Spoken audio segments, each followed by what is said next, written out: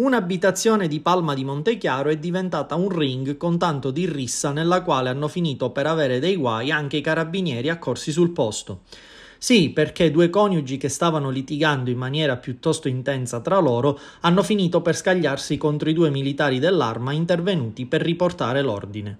Protagonisti in negativo della vicenda un bracciante agricolo di 44 anni nativo di Favara e la moglie, una casalinga quarantenne anche lei di origine favarese, che si sono beccati le accuse di resistenza e violenza pubblico ufficiale, lesioni personali aggravate e porto ingiustificato di armi e oggetti atti ad offendere, e anche la misura cautelare dell'obbligo di presentazione alla polizia giudiziaria per tre volte a settimana, decisa dal Tribunale di Agrigento dopo l'udienza di convalida con cui si è aperto il processo per direzione strettissima.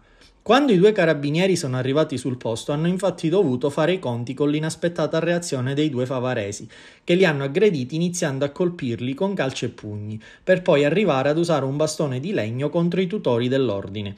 E ci è voluto un po' per riportare la calma in quella casa. Una volta placata la situazione, i due militari hanno dovuto fare ricorso alle cure dei medici dell'ospedale San Giacomo d'Altopasso di Licata per essere curati. Nel corso della colluttazione hanno infatti riportato contusioni scorazioni e graffi in diverse parti del corpo.